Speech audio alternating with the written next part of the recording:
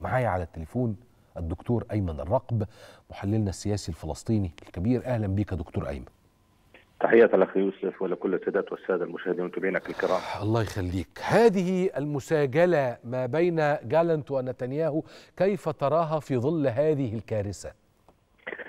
بصراحة هذه ليست الأولى. يعني هذا منذ الأيام الأولى الحرب وهناك تارة نسمع جالنت يقدم مشروع ثم نتنياهو يقدم مشروع وجميعهم يتفقوا كما أشرت على قتل الفلسطينيين. يعني اليوم عندما يوقع 600 أم من أمهات جنود الاحتلال الموجودين في غزة يكتبون في هذه الرسالة الموجهة لحكومة نتنياهو اخرج أبنائنا من وحل غزة.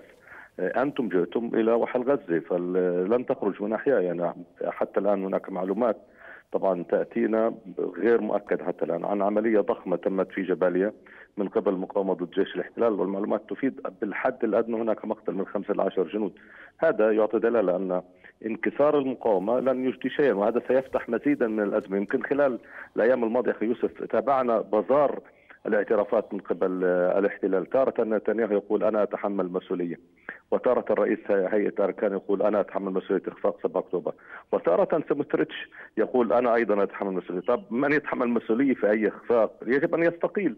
ورغم كل ذلك يصر في عمليات الدم والآخرة. وحتى في موضوع اليوم التالي للحرب يعني قال أنت يدعو إلى اجتماع طارئ الحكومة للحديث عن اليوم التالي للحرب في غزة. طب ما هو أنا قال قبل ذلك قدم خطة تتحدث عن إنشاء كيان مدني في غزة لا غير معادل للاحتلال الاسرائيلي ونفس السياق ما تحدث نتنياهو أن هذه الحرب ستفضي إلى نهاية حركة حماس وإنشاء قوة مدنية داخل غزة، هو لن يستطيع أن يفعل ذلك. الموقف أخي يوسف واضح من الفلسطينيين. نحن لن نقبل أن يملي علينا أي أحد من يحكمنا نحن سنختار من يحكمنا. حتى لو تم اختيار حماس مرة أخرى فهذا خيار الشعب الفلسطيني بغض النظر عن كل هذه التفاصيل. والاحتلال يصر على عدم وجود السلطة في طبعا في غزة. وحماس اليوم طبعا قالت بشكل واضح على لسان غازي حمد نحن جاهزون أن نقبل بتشكيل حكومة تكنوقراط تحكم غزة والضفة الغربية ونحن لسنا طرفا بها. يعني هم في النهاية يدركون صعوبة الأمر وفي نفس السياق خلال لقاءات متعددة مع كل الفصائل. في كلمة إسماعيل هنية أيضا اليوم يتحدث في في نفس السياق. ولكن لا يوجد طرف إسرائيلي لا يؤمن لا بالسلام. يعني نتنياهو قال أنا ضد حل الدولتين وضد الدولة الفلسطينيين. ولا ينجح أبو مازن. يعني على فكرة أخي يوسف أنت تعلم أكثر مني في هذا الاتجاه. يعني أبو مازن شخصية براغماتية. ولا يؤمن بالكفاح المسلح. ووافق أن يستمر في العلاقة مع الاحتلال الإسرائيلي من باب أن يؤكد للعالم أنه لا زال متمسك في شعرة معه وهي التنسيق الأمني ولا زال متمسك في السلام أبو مازن أبو مازن قال لي في لقاء ودي يعني نصا. لم أنا أنا أنا أنا من المؤمنين جدا بالكفاح المسلح يعني. فبقول له أبو مازن ولازم ونعيد تفعيل المقاومة مرة تانية و وما إلى ذلك. قال لي الظروف لم تعد تسمح يا يوسف. بالظبط كده. قلت له يا أبو مازن وده إحنا نستخدمها ورق الضغط. يعني هو يتذكر ذلك بالتأكيد. وكنا هنا في القاهرة بالمناسبة. فقال لي شوف والله لا أنسى الجملة. قال لي شوف أنا إرهابي. فضحكت. قلت له لا. قال لي أنا إرهابي دبلوماسي. أنا أستخدم السياسة وأحصل على ما أريد بالسياسة. ورغم ف... ذلك أخي يوسف لم يعطوه ما يريد يعني الأخ مازن قدم كل شيء. ولم يعطوه إلا نكران. يعني حتى الآن يقول له فتح ستان وما يمارس في الضفة الغربية. هو لإحباطه أكثر من من مما ماذا أنجزنا. يعني يقول بهذا الاتجاه للأسف الشديد. لذلك المشكلة الأساسية هو في الاحتلال الذي لا يريد لا خط سلام ولا يريد خط مقاوم حتى اليوم يعني أنت كنت تتحدث أخي يوسف قبل ان اشارك معك في موضوع حماسستان وكيف هو نتنياهو يلمح على الحكم في غزة، طب ما إحنا عارفين أن من ساعد على ترسيخ الانقسام وموله وضغط في اتجاه أن تصبح حماس قوة كبيرة. هو نتنياهو شخصيا ولكن صح. المقاومة التي طبعا ردت عليه بطريقة الخداع الكبرى والحرب بالعادة يقال أنها الحرب الحرب خدعة. فالمقاومة تمكنت من تضليله خلال فترة طويلة لتلقى منه درس بصراحة يوم 7 أكتوبر. طيب دكتور أيمن أما آن الأوان لأن يجلس أقطاب ورموز العمل السياسي الفلسطيني وقادة كافة الفصائل الفلسطينية يعني وكما جرت العادة في القاهرة أنه نضع مع مع مع بعضنا البعض زي ما بيتقال تصور لماذا بعد الحرب؟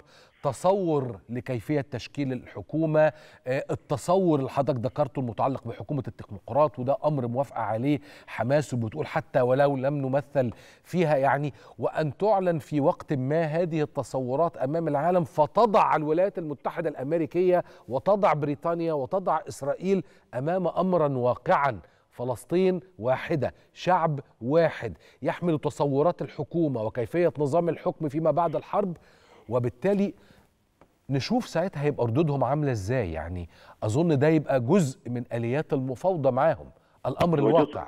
وجزء وجزء رد طبعا جميل لدماء الفلسطينيين النازفة ولكن حتى الآن للأسف الشديد أخوي يوسف أنت تحدثت على جرح كبير جدا. حتى الآن كل صناع القرار الفلسطيني لم يتمكنوا من الانتصار للدم الفلسطيني وهذا بصراحة معيب يعني في حق كل صناع القرار. نحن نتحدث نحن محللين سياسيين أو أكاديميين لكن صناع القرار هم الذين يستطيعوا أن يجمعوا كل الفصائل ويتحدثوا بشكل واضح أنه آن الأوان لينتهي كل هذا الانقسام وتجسيد حالة فلسطينية رائعة.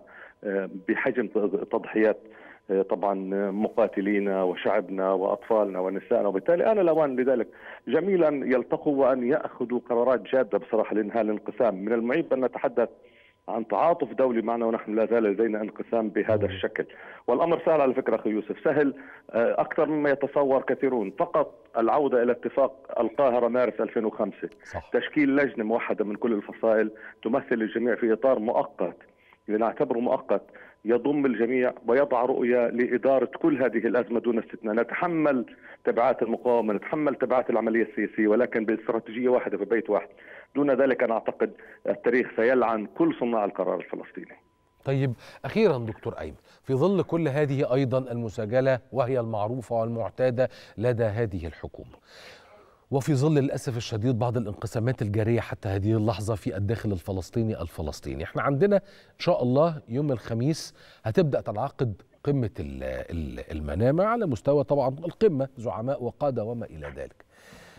أي من أوراق الضغط يرى دكتور أيمن الرقب إنه علينا أن نتمسك بها غدا؟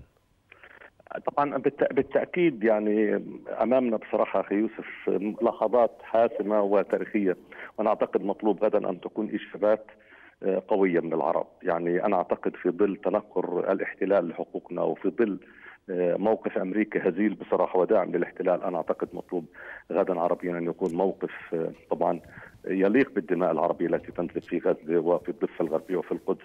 وهناك مواقف يبنى عليها بصراحة. أنا لا أريد أن أتحدث عنها لكن مواقف يبنى عليها. وأقل تقدير بالإمكان الآن أن نتحدث أن على العالم أن ينصف الشعب الفلسطيني وأن يطبق قرار التقسيم. أقل تقدير لنرفع سقف مطالبنا ليستجدي الاحتلال أن نوافق على دولة حدود رابا حزنا عام 67 أتمنى أن يكون ذلك غدا دعما معنويا وأقل تقدير للشعب الفلسطيني الذي يقدم طبعا الآن أبنائه ونسائه وأطفاله دفاعا عن كرامة وحرية الشعب الفلسطيني وعن أولى القبلتين وثلاث الحرمين.